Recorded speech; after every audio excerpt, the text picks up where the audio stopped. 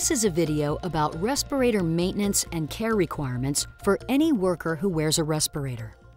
The Federal Occupational Safety and Health Administration, also called OSHA, and state OSHA agencies require employers to have a respiratory protection program that includes provisions for the cleaning, disinfecting, inspection, repair, and storage of respirators used by workers on the job. This video does not cover all of the things that your employer must do under federal OSHA or state OSHA respiratory protection standards.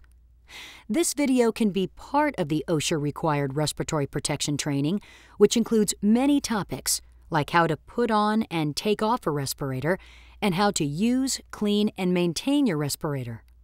Your employer must also provide you with worksite specific training. While this video discusses some of your employer's responsibilities under OSHA's respiratory protection standard, it is important to remember that your respirator must be properly maintained so that it can protect you. Respirators are not maintenance free.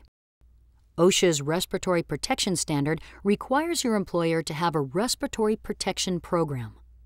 The program must provide for the cleaning, disinfecting, inspection, repair, and storage of each type of respirator used in your workplace.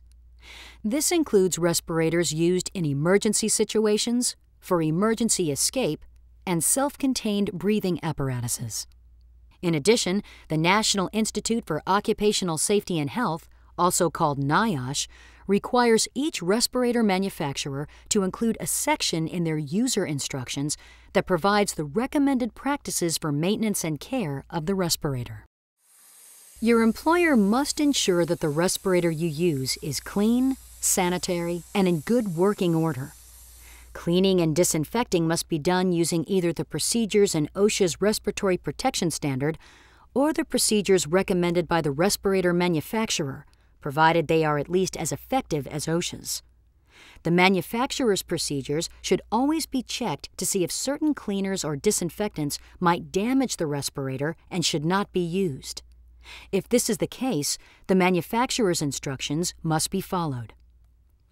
In general, cleaning and disinfecting consists of taking the respirator apart, washing it, disinfecting it, thoroughly rinsing it, and putting it back together when it is dry. Respirators must be cleaned as often as necessary to prevent them from becoming unsanitary.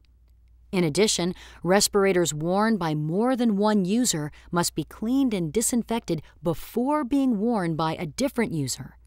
And emergency use respirators must be cleaned and disinfected after each use.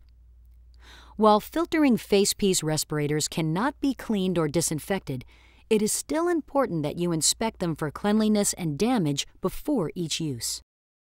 All respirators must be inspected for basic function before each use and during the cleaning and disinfecting process.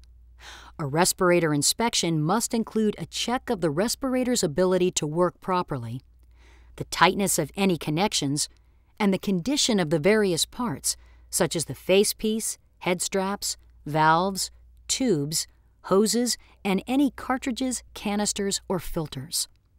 In addition, elastomeric parts must be checked for pliability and signs of deterioration. Regular care and maintenance of the respirator is important to be sure that it works properly. If your respirator fails an inspection or is defective, your employer must remove it from service and either repair it or discard it. Repairs or adjustments must be made only by appropriately trained people. In addition, repairs must be made according to the respirator manufacturer's instructions and must use only NIOSH approved parts that are designed for the respirator. It is important for respirators to be stored properly to protect them from damage, contamination, dust, sunlight, extreme temperatures, excessive moisture, and damaging chemicals. Never leave your respirator hanging on a machine, lying on your workbench, or tossed into your toolbox or a drawer. Always store your respirator in a way that prevents deforming the facepiece or exhalation valve. Avoid carrying a cup shaped filtering facepiece respirator in your pocket or toolbox. This could crush it and cause the facepiece to be bent out of shape, preventing the respirator from sealing tightly to your face and properly protecting you. Air purifying respirators use a filter or cartridge to remove hazards from the air you breathe. A properly functioning air purifying respirator can provide effective protection for as long as the filters or cartridges work correctly. For respirators that use filters to clean the air, the filters must be replaced whenever they are damaged, soiled, or cause noticeably increased breathing resistance. Before each use, the outside of the filter material must be inspected. If the filter material is physically damaged or soiled, the filter must be replaced, or in the case of a filtering facepiece respirator, the respirator must be discarded. Filtering facepiece respirators can be reused by the same worker, but only if the respirator is working properly, its shape remains unchanged, and the filter material is not physically damaged or soiled. Of course, there may be reasons for disposing of a filtering facepiece respirator that still appears to be functional. Your employer must identify the circumstances in which a filtering facepiece respirator will be considered to be contaminated, unsanitary, or otherwise not able to be reused so that you can recognize when a new respirator is needed. Some gas and vapor hazards require the use of respirator cartridges or canisters containing materials that absorb or remove these hazards from the air. However, cartridges or canisters can only absorb a limited amount of hazardous gas or vapor. To ensure your protection, they must be replaced before they reach this limit.